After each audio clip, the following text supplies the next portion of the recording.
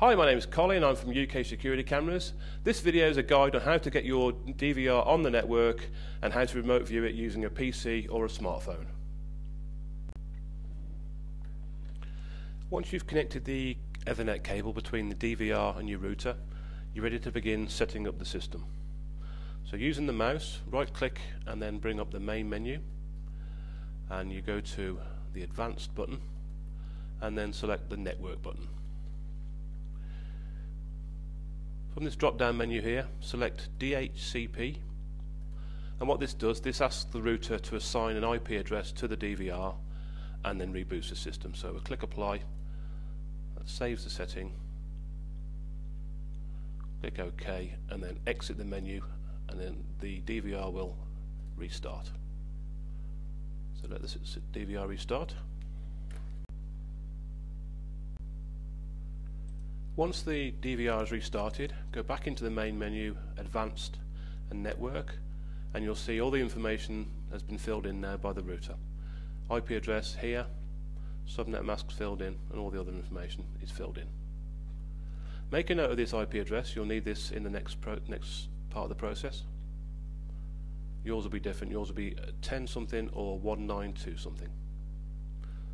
Also make a note of this number, 9000 this number 80 and also this number 15961. These are the three port numbers you need to open your router in the next part of the process. Okay, so we've we've just gone through the process of putting the DVR on the local network. We had an IP address of 10.0025 and so we're ready to now go to the router and open some ports to allow it to talk to the outside world.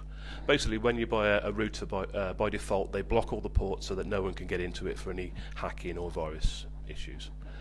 Okay, so we're going to open three ports that lets the DVR do its thing. So we're using a Netgear in this case. So we logged into the DVR, and we're going to select Advanced, Advanced Setup, and Port Forwarding. Your router may be a different manufacturer. Just have a look in the manual for port forwarding, and you'll find the instructions in there. With this one, we need to add three ports, port 80, port 9000 and port 15961.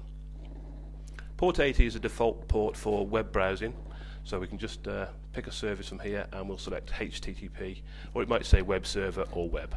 Either way, it's port 80 by default.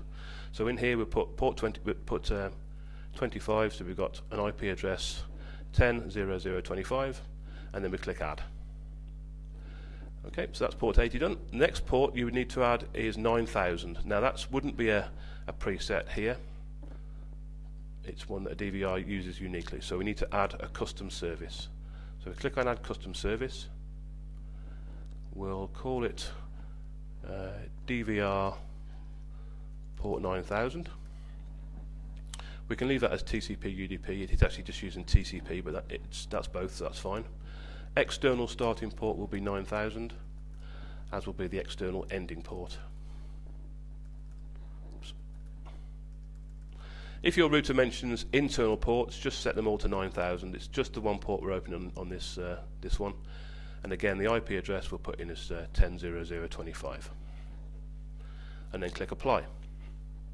Once that's done, you can uh, go back, open another custom service, rename it to DVR port 15961 or mobile port if you wish and change all the all the numbers to 15961 I won't just I won't go through it all now but uh, I'll just show you. How we do it. And we'll do the same. That's it. There we go. And then again 25 and click apply.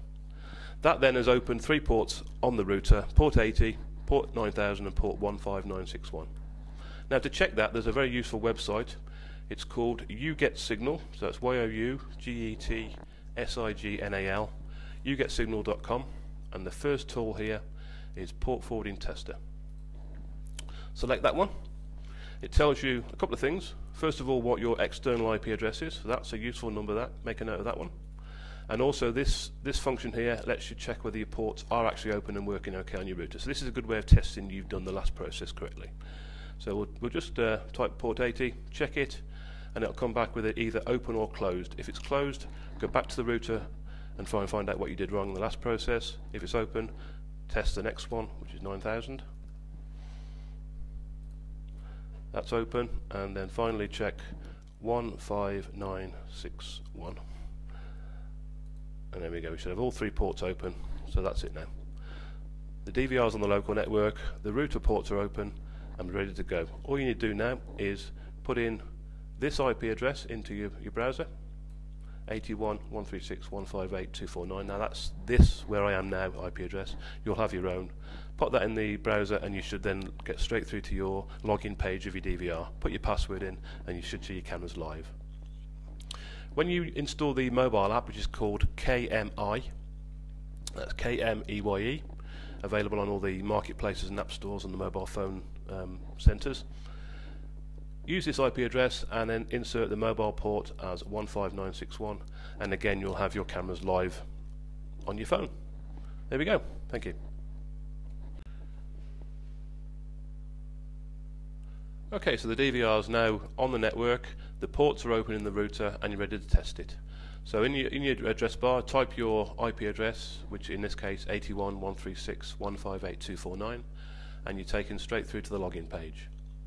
When you initially install this software uh, on your browser for the first time, the browser will try and install a file, a little drop down thing here. If you just go through the process, allow the file to install, and that'll just do that once, and it'll never to do it, do it again. It's just a little ActiveX file that the uh, DVR needs to run. So you put your password in here, and then click login. And then your camera's live on the computer screen.